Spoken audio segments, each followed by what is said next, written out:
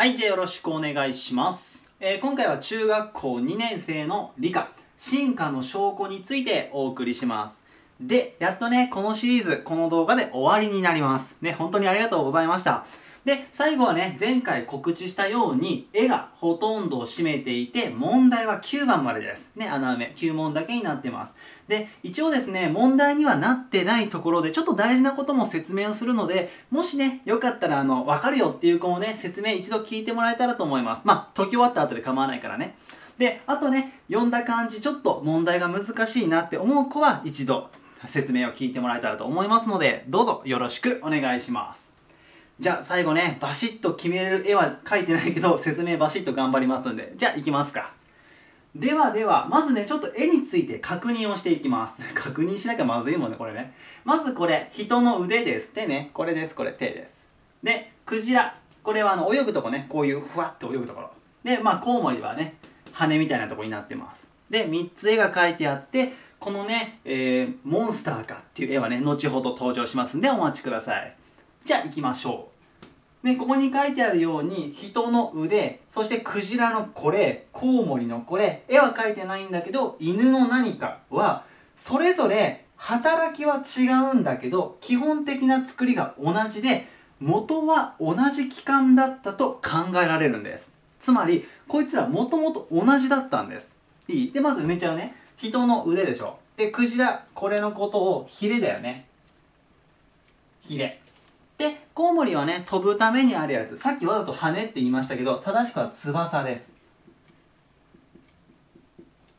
で、犬の場合は前足。この辺の4つっていうのはもちろん働きは違うね。うちらの場合、人の腕は働きは掴むためにあります。クジラのヒレは泳ぐためにある。コウモリの翼は飛ぶため。犬の前足は歩くためだね。それぞれ役割全部違うんだけど、作りが同じなんです。いいここ大事なんで覚えておいてね。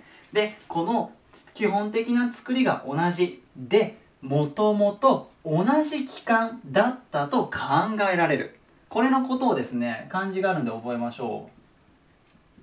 相手と同じ、ちょっと待ってね、器官。っていう漢字を書いて相動期間と言います。で問題にしてないんだけどこのね働きが違うんだけどっていうところもちょっと覚えてください。ここがたまに出ることもあります。いいかな？でこのねモンスターに行く前に1個説明します。今回問題にちょっとできなかったとこなんだけど今回この人クジラコウモリあるんですよこの絵が出てくるんだけどテスト。まず腕あるじゃん全部。何個の骨からできてるかって聞かれたら3 3つでいいか。3本？3つ？まあいいか。3つの骨からできていることを覚えてください。いっぱいごちゃごちゃある気もするんですけど3つなんです腕は。その3つはここです。123123こっち。123です。いいかな。でたまにテストで出てくるのは人のこの骨あるでしょ。これがクジラとかコウモリやったらどこのどこにね値するっていうかどことね同じになりますかっていうものが出てくるのでそれ覚えましょう。これね場所分かりやすいからね。一番右はクジラだとやっぱり一番右です。コウモリでも同じく一番右になります。でね残り2個もやっちゃいましょう。人のここの上の部分。ここの骨はやっぱり上です。ここに行きます。でコウモリもこの腕。ここに、まあ、一致するというかね値します。で最後黒でちょっとね見にくいと思うんだけどこの下のところ。ここね。とここです。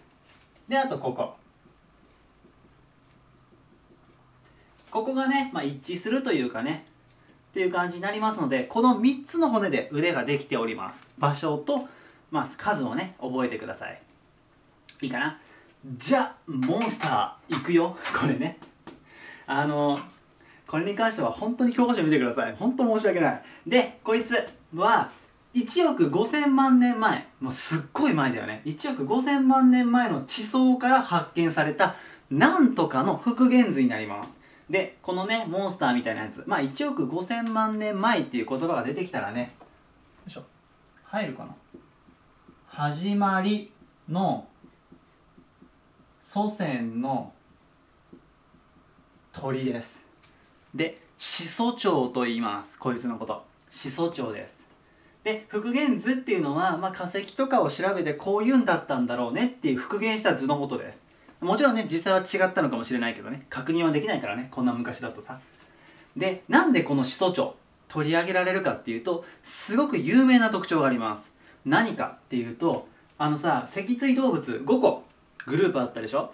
あの中の2個特徴を持ってるんです。1個じゃなくて。うちらって哺乳類でしょ？だから哺乳類の特徴しか持ってないんだけどこいつは2個持ってます。でまず1個目は見てさ鳥みたいじゃん。もう翼あるし。だから1個は鳥類なんです。これはいい。まずね。でもう1個。これ覚えましょう。こいつ爬虫類の特徴を持ってます。だから鳥類と爬虫類の2つの特徴を持っている。だからまず翼の中に何かがあります。これね爬虫類の特徴なんだけど爪があるんです。まあ分かりにくいけどこの辺ねこれ爪なんだけどがあったしほにゃららが生えている。これはまあね鳥なので表面が羽毛だね。が生えていたと。こういう特徴を持ってます。で他にも特徴があるのでこの辺はね教科書ワークなんかを確認してもらえたらと思います。いいかな？でこれでね問題終わりになるんですけど最後このね人あったじゃん。人ってもちろん何類って聞かれたらね哺乳類っていけるでしょ？クジラ。何類って聞かれたら魚類って言っちゃダメだよ。これクジラ哺乳類だからね。これねちょっとそのためにもどうせようと思ったんだけど問題ではないんだけどね。クジラ哺乳類に入ります。もちろんコウモリも哺乳類です。ねぜひねその辺のプチ知識も覚えておいてください。それじゃあ今回はね中学校2年生の理科。進化の証拠についてお送りしました。え今回もね見ていただいて本当にありがとうございました。そしてすっごいね長いシリーズになりましたがこのね長いシリーズもしね見ていただいた方がいたら本当にありがとうございました。